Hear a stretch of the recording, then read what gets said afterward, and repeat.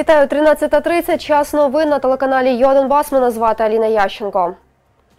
Житель Авдіївки Давид Горб може залишитися інвалідом. Про це розповів завідуючий травматологічного відділення Селидівської центральної районної лікарні Олександр Островський. Чоловік у цій лікарні лежить більше 10 днів. Нагадаю, в ніч з 2 на 3 серпня Давид отримав кульове поранення в ногу. Каже, в нього стріляли військові 92-ї бригади. У чоловіків той вечір виник конфлікт в кафе. Они по форме прям, прямо сидели, да. Получается, я когда подошел поставить песню, один мне в спину начал кричать, ну что ты, сепар, там что-то, то все. Я к нему подошел, говорю, пойдем выйдем с тобой поговорим. Ну, Если самые аргументы, основания, давай выясним. И у нас слово за слово. Получается, я его за шею беру, поднимаю. Сзади мне идет бутылкой удар по зубам, и второй сразу бутылкой по голове идет. Це інший чоловік. Да, это они вдвоем были, да, это его. Второй был. Я, получается, разворачиваюсь, а чувствую, что у меня уже зуб выпал, там кровь пошла. Ну, начинаю приносить физическое воздействие вот этому, который меня бутылками ударил. Потом слышу выстрел. У меня, получается, левая нога подкашивается, я падаю на колено. У ліву ногу чоловікові вистрелили двічі. Йому зробили операцію та встановили апарат Єлізарова. Зараз чоловік не ходить. Травми в нього е, пульове, е, проникаюче пульове поранення верхньої треті, ос- уламкове поранення верхньої треті лівого стегна зі зміщенням, а також наскрізне пульове поранення нижньої треті е, лівого стегна. Травма, скажімо, складна, е, потребує подальшого лікування і довготривалого. І періодично може ускладнюватися підвищенням температури. Зараз температура в нього е, буває субфібрильна, але має тенденцію до зниження. Зараз у нас перебуває на ліжку. Ми надіслали запит до військової прокуратури. У бригаді ж пообіцяли прокоментувати ситуацію сьогодні. Подробиці дивіться у наших наступних випусках. У селі Свистунівка на Луганщині дикі кабани два місяці поспіль переривають городи місцевим жителям. Знищують городину, топчуть посіви і лякають людей. Їх бачили не лише на присадибних ділянках, а й у центрі села. Докладніше про це у сюжеті моїх колег. Галь, в бік, в бік трошки бери. Саме так із палками та криками жителі Свистунівки кілька днів тому виганяли із власних городів зграю диких кабанів. А ось пенсіонер Володимир Могильний цього зробити не встиг. Тварини вдруге за літо знищили йому зо дві сотки кукурудзи. Каже, раніше такого не було. Ну, раніше не було, того, що вони дикі були. А, зараз вони люди тут підкармлюють хлопці і охотники, і вони не бояться, понятно. Запустили ж у очерета тут понад селом. У, лісах же їх постріляють, а тут вони ж, е, ну, тут і не стріляють тут їх, і вони шурують. Місцева листоноша Інна Борисенко зустріла зграю кабанів, коли розвозила пошту разом із двома дітьми. На такому пагорбі стоїть великий кабанчик і дивиться на мене. А далі я просто повертаю голову, а далі менші, більші, коричневі, різні цвітом вони там були. В общем-то, я діткам сказала, бистренько, бистренько, діточки, їдьте, їдьте.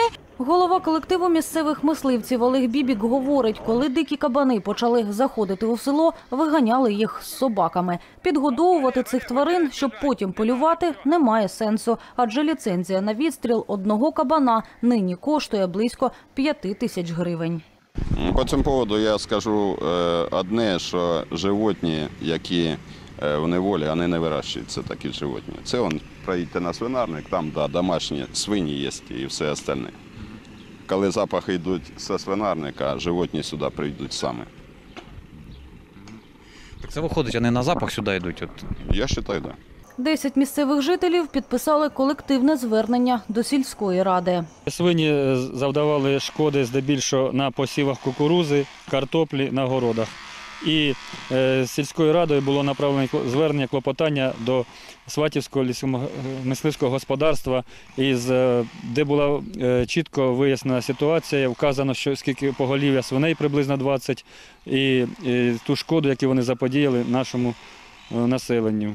Вони звернулися з проханням про відстріл диких кабанів. Ну, відповідно до законодавства України, в теперішній час полювання на диких кабанів заборонено. З- е, цим е, питанням ми звернулися також до.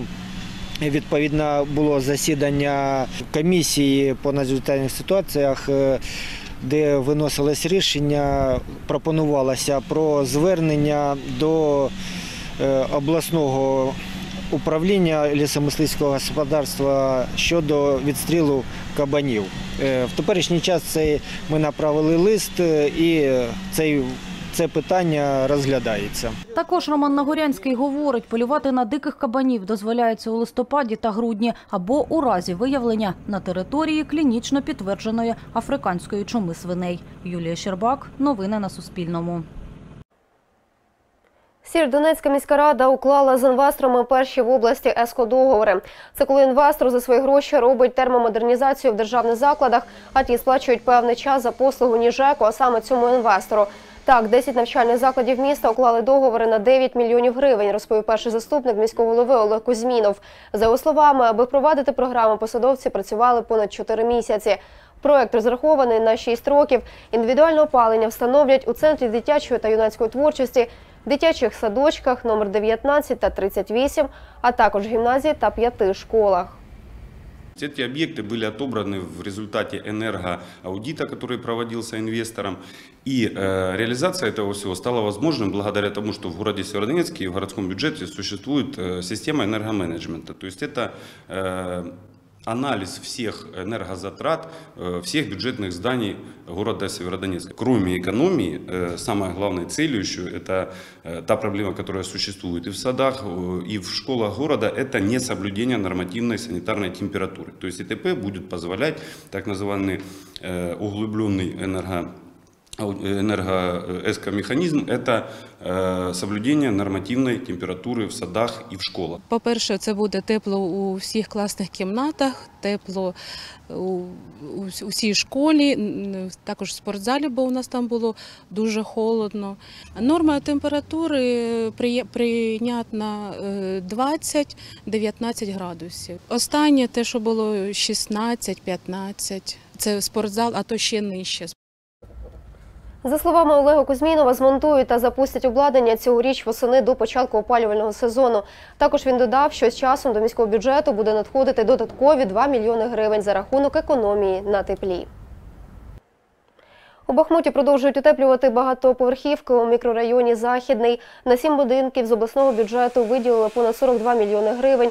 За ці гроші ремонтують покрівлі, під'їзди, облицьовують балкони та утеплюють стіни. Роботи розпочалися в червні. Для зовнішнього утеплення застосовують вентильовані фасади. Це технологія, коли в каркасі є зазор між шаром, який зберігає тепло, та зовнішнім фасадом. Як каже директор підрядної організації Ігор Черкашин, він прослужить до 50 років. Экономия тепла э, до того, как этот фасад э, был смонтирован, и после того, когда он смонтирован.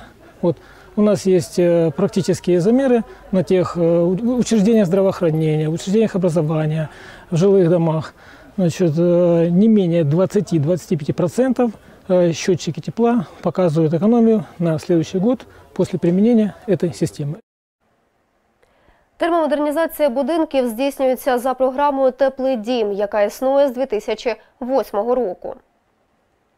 Програма Теплий будинок була е, зроблена в місті Бахмут. Наразі це єдине місце на території Донецької області, де діє така програма. На е, 40 об'єктах, в тому числі 37 житлових будинків та 3 дитячих е, дошкільних заклади. На цьому в мене все. Більше інформації шукайте на нашому сайті. Я бажаю вам гарного настрою. Побачимося вже завтра. Наступний випуск новин дивіться о 17 разом з моїм колегою Сергієм Окішевим.